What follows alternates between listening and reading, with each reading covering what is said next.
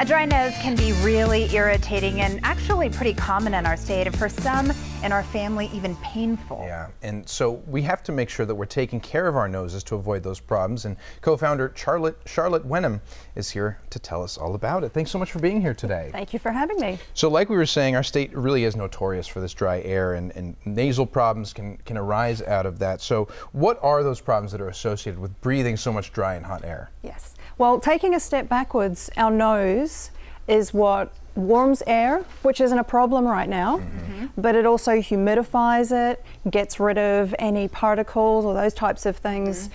and helps keep us healthy. So, most of us, and especially babies and young children, breathe through our nose. So, if our nose is, is dry, the, the mucus that traps those, those impurities and mm-hmm. helps to humidify and protect our lungs and our airways is not there. So that's probably the biggest risk is just that we're not allowing our nose right. to do its job. Mm -hmm. Especially for the people who are younger in our family, like you were saying, Absolutely. like babies. I mean, we definitely need to help them with that because they can't do it on their own, obviously. So Correct. let's talk about some of the tips when it comes to prevention. Sure. Humidifiers, um, if you can get a humidifier for your home, you can get small ones from the pharmacy. It just helps to humidify the air in your mm -hmm. home. Um, air conditioning as well dries out that air. So if we can right. add some of that moisture back, mm -hmm. that will in turn help us, especially overnight when we're not active. That's one of the, the great things. Um, when we have a dry nose as well, the other thing that we can do is uh, use saline mm. sprays or those types of things. Mm -hmm. But if what we're wanting to do is to clear some of that junk out of right. our nose, mm -hmm. an aspirator is another good option. So the beauty with CLEARinse, which is the product I brought along, it uses saline that goes in the top chamber, mm -hmm. um, which from there, um, as you can see from the image there, just goes into the nasal passage. Mm -hmm. And then uh, we've got another button that pulls it out or aspirates it, and it's in the safe suction range as well. So you're not doing damage to already sensitive uh, nasal tissue. Right. Right. I mean, it can be so hard, like you said, to hydrate those areas. Yeah. Humidifiers, they, they do what they do, but they're not as effective as treating it directly, exactly. Imagine, right? Exactly.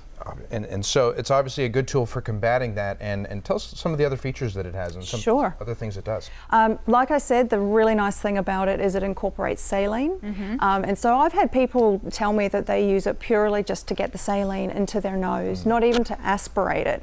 Um, but it can be used for the whole family as well. It was designed by a pediatrician out -hmm. of mm-hmm. San Francisco. So he looked at it for um, infants, babies. -hmm. So anyone from one month of age can use use this product um, all the way through to older members of the family. So mm-hmm. I use it at home. My son, who's 10, uses it as well. And, and they, I'm sure, get used to it over time. How yes. often do you use this? Once a day before you go to sleep? As much as you feel that you need it. Mm -hmm. Because it's saline, um, it's not a medication, so it doesn't have some of those side effects that some of the over-counter drugs have as well. Right.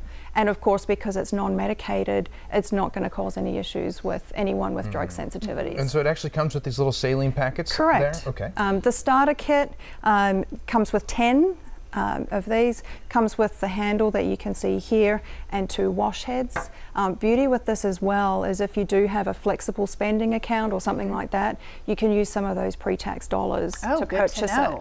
Mm -hmm. Otherwise, available on Amazon, um, next day prime shipping to home. No, because that exactly that's one of the reasons. we talk about that yeah. oh, like, yeah. Where can we find this? And that makes it pretty easy. Oh, this is substantial too. So yes. anybody in your family would be able to use it, and it Correct. doesn't look like you could hurt yourself with it. It, it. And there are no sharp edges, anything no. like that. There are. We we talk about damaging our ears yeah. when it comes to Q-tips, oh, yeah. but mm -hmm. this seems safe.